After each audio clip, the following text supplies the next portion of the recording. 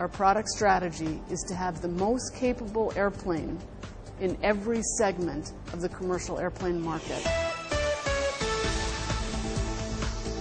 We are making a decision to invest in the 737 family. We are announcing the 737 MAX.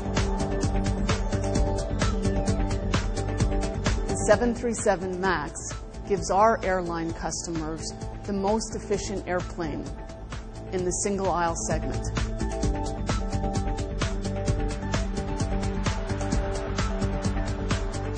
This is a market that's being driven by demand from low-cost carriers, by demand from emerging and developing economies, and by demand to replace older, less fuel-efficient aircraft.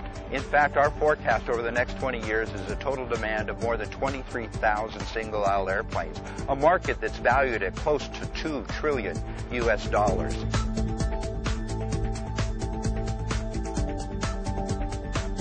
Our airline customers are going to love the 737 MAX because it gives them a significant advantage over any other airplane out there in terms of operating costs. The 737 MAX will have 10 to 12 percent better fuel efficiency per seat than today's next generation 737. It's going to give them max efficiency, which leads to profitability, max reliability, and to the flying public, max passenger appeal.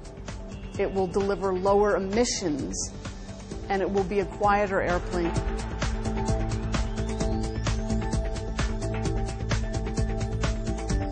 This is an airplane that will continue to have a competitive advantage to not only our competition today, but competition in the future.